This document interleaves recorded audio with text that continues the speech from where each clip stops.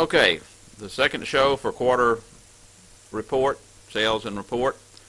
Gonna demonstrate the 3D pie chart. Uh, You're on your own on the, on the line chart. Uh, Of course, remembering that the, the rules, one is that, you know, all charts start in column A. Of course, that's 98% of the time and 100% of the time for this class. But we need the mallards through teal here for the chart. And it's going to be a little tricky because the, the data that we need for the pie chart is over here in column E. I want a uh, total quarterly sales. To be able to go from column A to E without doing B, C, and D, you got to hold the control key down. That's the trick. Hold the control key down, highlight the corresponding numbers. Now be sure when you do this that you have the same number. You got four over here and you got four totals over here.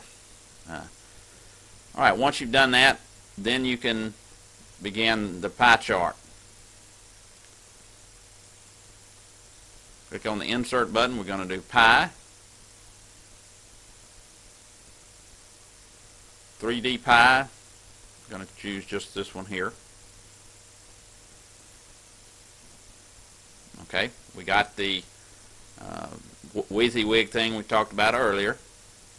Uh, this is the, the one that we want, layout 1. Gives us the pieces of the pie and the percent of, of the pie.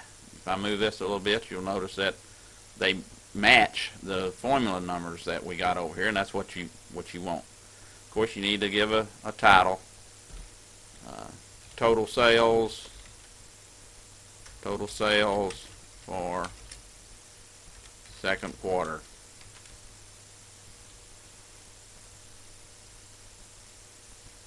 Okay, now that's basically all you do for it.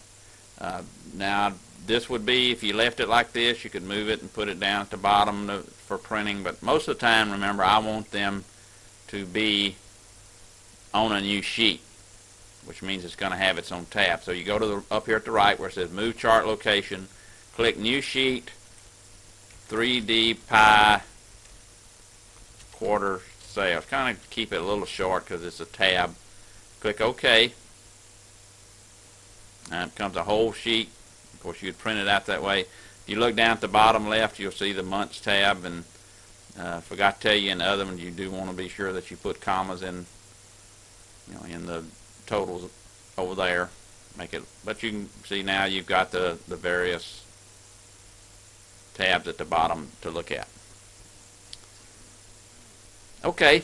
This is uh, what I expect from you when you make a pie chart. Be sure that you use where you have the, name and the percent. You don't need legends with pie charts. Normally, if you've got enough room for the pieces of information to go in the slices. The only time you need a legend is when your slices are so small that the person can't tell which are the pieces of the pie. If you put a legend here, it'd be redundant. Okay, hope this helps.